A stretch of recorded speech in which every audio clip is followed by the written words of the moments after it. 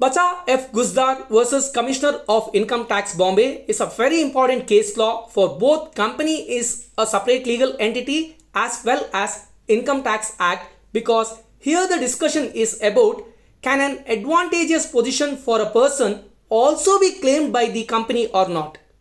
Coming back to the story, it goes this way. Before starting the case law, one additional information.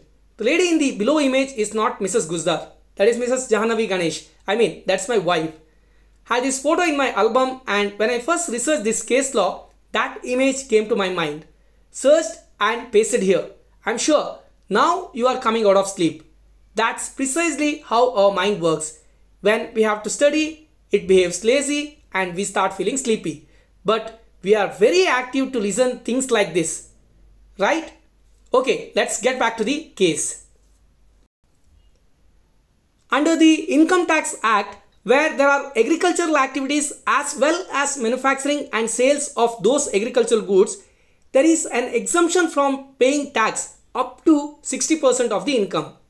Tax to be paid only for the remaining 40% considering that that as the manufacturing or sales income.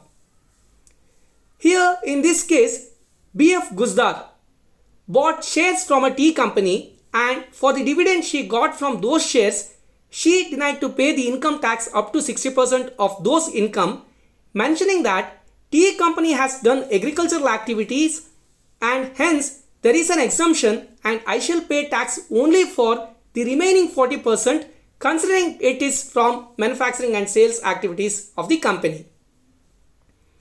Her claim was the income in her hand should be treated as agricultural income up to 60% as in the case of a tea company on the ground that the dividend received by shareholders represented the income of the company or to simplify it is like she and company are one and the same as her money invested via shares was utilized to run the company.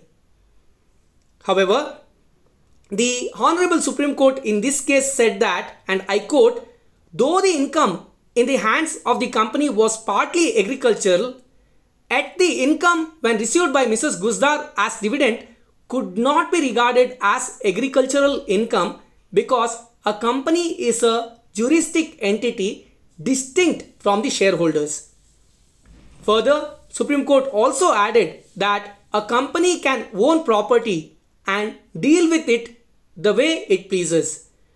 No member can either individually or jointly claim any ownership rights in the assets of the company during its existence or on its winding up. Hope you understand. See, it is another matter that the money liquidated can be used for settling the creditors etc. But that doesn't give any ownership to any subscriber because company itself is a juristic or legal person and it can manage things by itself and it owns the things which belongs to it.